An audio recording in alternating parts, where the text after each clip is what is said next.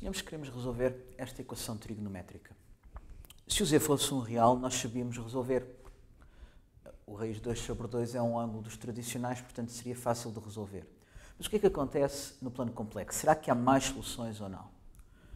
O seno exponencial de iz menos exponencial de menos iz sobre 2i.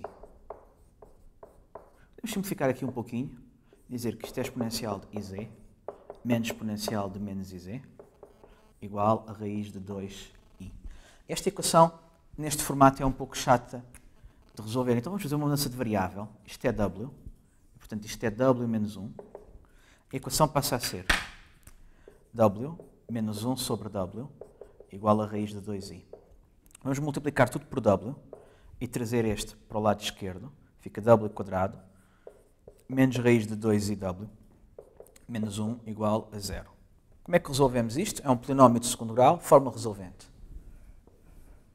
W é igual a menos b, mais ou menos, raiz de b quadrado, vai ficar 2, o i ao quadrado fica menos 2, menos 4, vezes a vezes c. O c troca aqui o sinal, tudo isto é dividido por 2.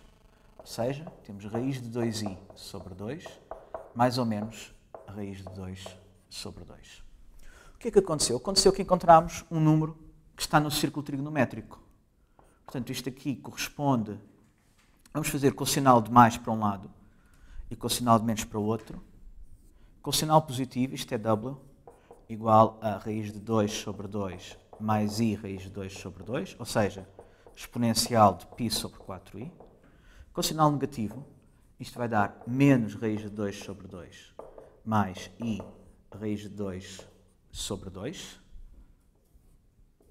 Portanto, o x é negativo, o y é positivo. Vamos ficar aqui. Isto vai ser exponencial de 3π sobre 4i. E agora recordemos que o w era exponencial de iz. Portanto, isto fica assim. Se os exponenciais são iguais, o que está no expoente é igual a menos de um múltiplo de 2πi. Portanto, dividimos tudo por i e descobrimos z é π sobre 4 mais um múltiplo de 2π, o k é inteiro. E daquele lado vai acontecer a mesma coisa. exponencial de iz é igual a exponencial de 3π sobre 4i. Portanto, o iz é 3π sobre 4i mais um múltiplo de 2πi. Cortamos o i e concluímos que o z é 3π sobre 4 mais k2π com k inteiro. Ou seja, neste caso, realmente não encontramos soluções novas além das que já conhecíamos da reta real. Experimentemos com outro exemplo. Cosseno de z é igual a 3i sobre 4. Aqui claramente não vai ser um dos habituais, porque os habituais dão valores entre menos 1 e 1, os da reta real. Mas o cosseno de z pode ser escrito assim.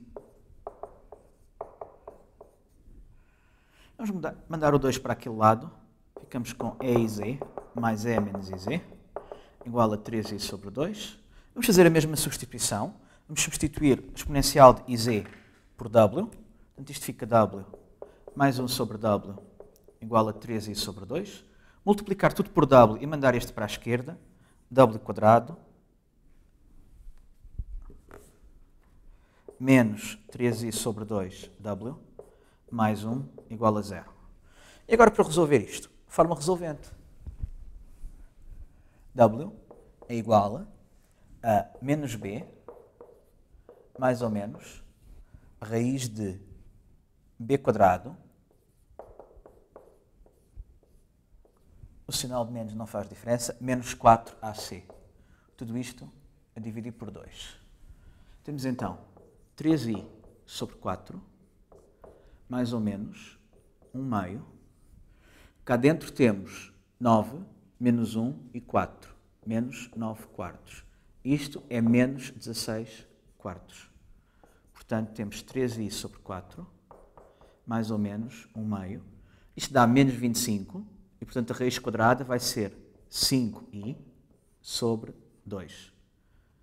Então, com sinal de mais, ficamos com w igual a 8i sobre 4, ou seja, 2i. Com sinal de menos, ficamos com w. vai ficar 3i menos 5i, tudo sobre 4, menos 2i sobre 4, é menos i sobre 2. E agora queremos voltar ao z. Exponencial de iz é igual a 2, exponencial de π sobre 2i. Vamos puxar este 2 cá para cima.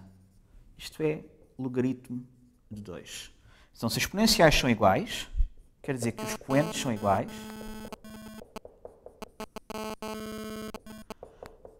exceto por um múltiplo de 2πi. Dividimos tudo por i, isto fica z igual a menos i, logaritmo de 2, mais π sobre 2, mais k 2π, com k pertencente a z. Daquele lado vai ser muito semelhante. Vamos ter exponencial de iz é igual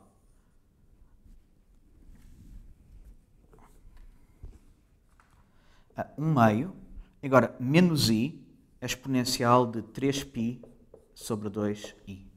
Portanto, o iz vai ser logaritmo de 1 meio mais 3π sobre 2i mais um múltiplo do 2πi.